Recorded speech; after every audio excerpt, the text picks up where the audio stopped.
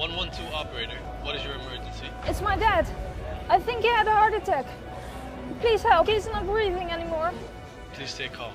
What's your name? Joanna. Good. Joanna, we've got your location. The ambulance drone is on its way. Remove his top shirt to uncover his torso. Uh, okay.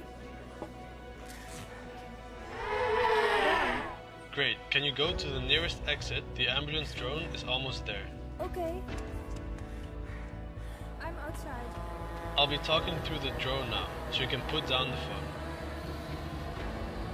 Now please pick up the drone and bring it to your father. You're doing great. Okay, pull the green lid. Now place the pads on your father's chest. Good. I can see that the pads are properly applied. Joanna, please stay clear of your father.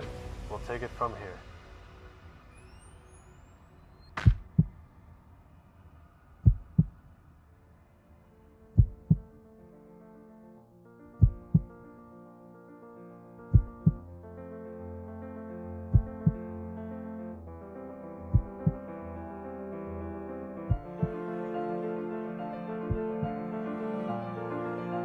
Hi, I'm Alec Momont. I'm a graduate student at the TU Delft working on a project for Living Tomorrow and UZ Gent.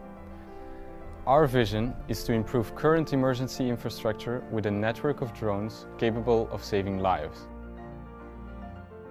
At over 100 km per hour, these drones create an ultra-fast response system capable of increasing this survival chance from 8% to 80%.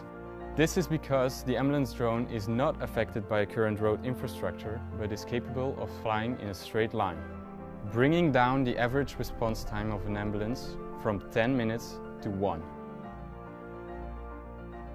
We developed a new type of drone that is capable of folding into a very compact position. The drone essentially becomes a flying toolbox for your emergency supplies. Let's use drones for a good purpose. Let us use drones to save lives.